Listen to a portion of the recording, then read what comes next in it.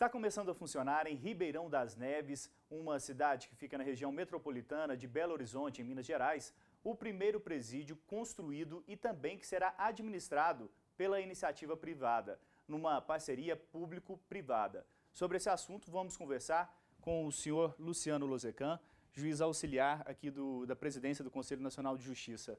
Como o senhor acompanha esse projeto que é pioneiro no país, apesar de já existir algumas parcerias entre Estado e iniciativa privada. Esse é um projeto muito interessante porque ele introduz um modelo de gestão diferenciado. Nós já temos no Brasil o modelo chamado de cogestão, onde uh, empresas se submetem a uma licitação pública e, em vencendo essa licitação, exploram determinados serviços como saúde, educação, assistência social, psicológica, sendo que né, em todos eles, em todos os sistemas de cogestão existentes no país, caso de Sergipe, caso da Bahia, uh, mais recentemente em Pernambuco, em Santa Catarina, uh, o sistema de segurança e disciplina fica nas mãos do Estado, ou seja, há a terceirização de determinados serviços. No caso de Minas Gerais, a administração do estabelecimento vai ficar a cargo da iniciativa privada e a introdução de critérios de excelência e de gestão. Por exemplo, se a, a, o consórcio de empresas vencedor dessas licitações não cumprir determinados requisitos, por exemplo, os serviços de educação não estão atingindo o padrão exigido pelo poder concedente, que é o poder público mineiro. Né? A empresa deixa de receber ou recebe uma quantia a menor. Esse sistema ele é muito assemelhado ao que existe na Inglaterra. Sistema esse que consegui conhecer no ano de 2010, em janeiro de 2010, que embora seja um pouco diferente do sistema brasileiro e que está sendo adotado em Minas Gerais, ele possui uh, de idêntico essa questão do cumprimento de padrões de excelência, no sentido de que a empresa não recebe todo o repasse de recursos se não cumprir aqueles determinados padrões. Afora o fato de que Uh, diferentemente do sistema de cogestão, onde geralmente uma empresa é a vencedora da licitação, aqui é um consórcio de empresas que vai explorar determinados serviços que vão ser delegados durante determinado tempo, né, 27 anos no caso, pelo Estado de Minas Gerais. Esse projeto ele prevê questões de qualidade né, para a questão do pagamento da própria empresa que vai administrar o presídio, como educação e também saúde dos presos. O senhor vê vantagens nesses critérios e nessas exigências? Na verdade, isso já existe na Lei de Execução Penal desde 1984.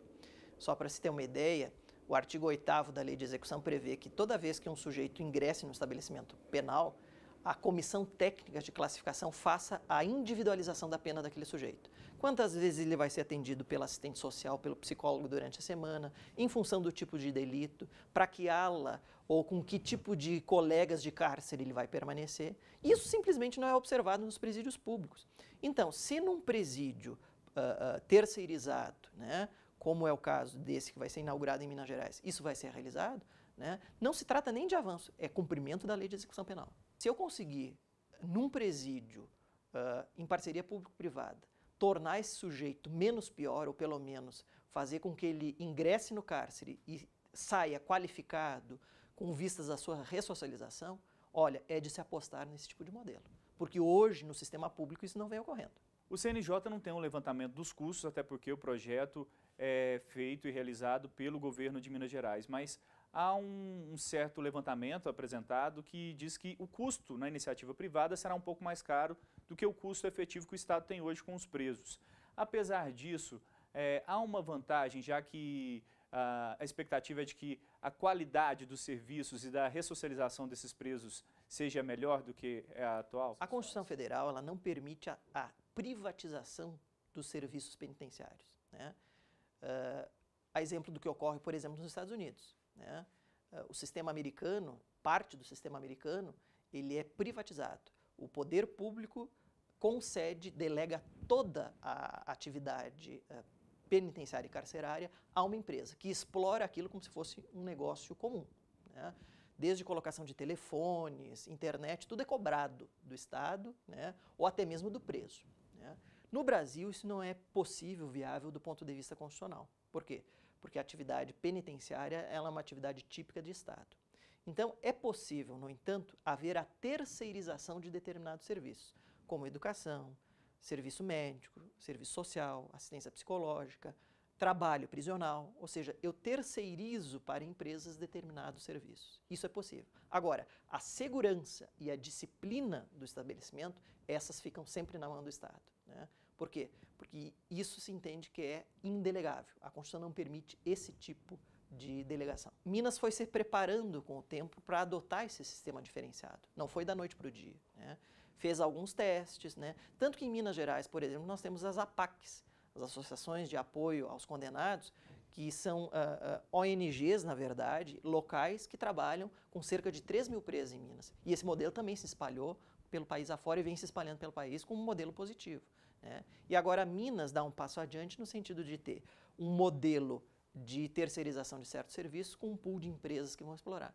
Então, é, é uma, há uma, toda uma preparação nesse sentido do Estado, né? e que uh, transcendeu e ultrapassou até mesmo diferentes tipos de governos no estado de Minas Gerais. E isso que foi muito interessante. A necessidade, e isso é absolutamente essencial na execução penal e para todos os efeitos de administração pública, a continuidade administrativa. E hoje, o sujeito que sai do sistema prisional brasileiro não só sai uh, uh, pós-graduado em criminalidade, como ele é um reprodutor dessa criminalidade, porque ele se vincula internamente com facções e fica obrigado quando ele sai desse sistema.